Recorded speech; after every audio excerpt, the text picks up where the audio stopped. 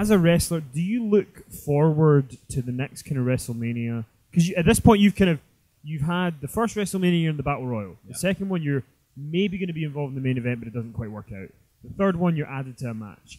Is there something in your head where you kind of go, I want to make sure Yeah. somehow that I can be in that next one? I think as a talent, um, some guys just like to get paid, and that's great. And other guys, they're they're they're more looking for the the creative, like the fix. And for me, I gave myself a rule after WrestleMania in Houston: I'm never gonna sit in the family box ever again. You know, if you're not performing, you can go up and sit in the family box with all the Hall of Famers and all the family, and it's nice. But I gave myself that rule, and then I was in the triple threat the next year, and I gave myself a rule at the triple threat. I said, I'm never gonna be in this triple threat, I'm going to do a singles match. And I really genuinely gave myself that rule. And it's like the Super Bowl and, you know, uh, American sports as far as you don't, you, you work year round to get on WrestleMania. So as we like approach WrestleMania in Atlanta, that most people don't know that. It's my first singles match on a pay per view. And it just happened to be a friggin' WrestleMania. So that's all, that's all you think about is WrestleMania. And working with Rey Mysterio in your first WrestleMania as a singles match. Best. Um, what was that? Yeah, Rey Mysterio, ladies and gentlemen. Rey Mysterio. Um, how did it come about that you and him get the match? Because it seems like at that point you're a young guy, he's a veteran who could probably at that point call who he wants to work with. That's exactly what happened. He, uh, I remember standing by the ring and Dash and Cody Rhodes kind of fizzling out, and there's a whole discussion on one side of the ring about why I don't wear knee pads, and then on the other side of the ring, uh, Rey, Cody, hey, hey. I'm excited. It's Rey Mysterio. You know, go over. Hey, uh, anybody talk to you about WrestleMania? Oh no, not yet. Like, no, of course not. Nobody's. Well, I- I'm thinking about matches. I want to work you.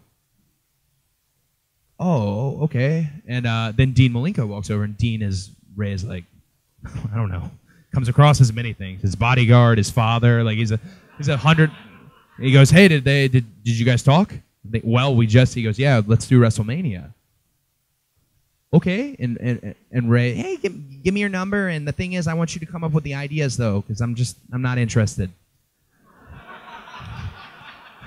Okay, yeah, no, no, definitely, definitely. I'm gonna come up with the ideas.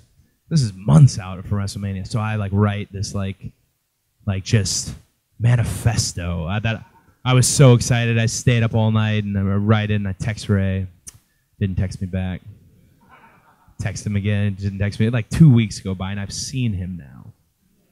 He still hasn't got back to me. And we walk into this arena, Tulsa. I'll never forget Tulsa, Oklahoma. We walk in, and there's Rey. And uh, Rey dresses like like a gift from God. Is a good way. He's got these Louis Vuitton shoes on, Louis Vuitton leather pants. Like not everyone can pull it off, but Rey could pull it off. And uh, I walk in and go, "Hey, Cody." Yeah. And then he just goes, "Boom, boom, boom," and I look. It's Vince's door.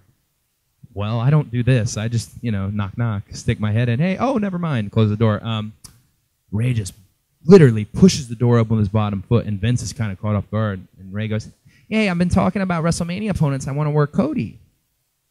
And Vince goes, Yeah? You got an idea? And I had it. And I think he was pissed that I had it. I took it out. I said, Yeah, right here. He goes, begrudgingly looking at it, puts on these little tiny glasses. And then he goes, Yeah, okay. WrestleMania. Matches will be really good, right? Yeah, gonna be great. And then, uh, you know, so that's why I say, like, without Rey, like, doing that, I nothing happens. I don't know why Rey took such a trust in the whole situation. But then the other part was like we were talking about Michael Hayes. Everything I wrote down got to happen. Everything. Uh, they, you know, the the addition that Vince made to the the mask, which was just essentially like Phantom of the Opera meets American Psycho. Um, Vince wanted me to put paper bags on people's heads, and that was his addition. And I thought, hey, it's great. I used to walk in the building, you see all these kind of union local employees just cutting the eyes out of these paper bags, and there's like this many. I, mean, I know I'm going to put it on like six people, and they looked so miserable. And looked so miserable. I'm sorry, guys. I never stopped to say hi. I just kept going. But um, yeah, no, Rey, yeah, that's why for sure if we could one more to Rey Mysterio because he's the fucking man.